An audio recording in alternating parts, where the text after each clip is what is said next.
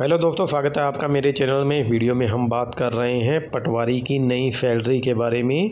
आपको बता दूँ दोस्तों, जल्द ही राजस्थान में पटवारी की नई भर्ती की विज्ञप्ति जारी होने वाली है।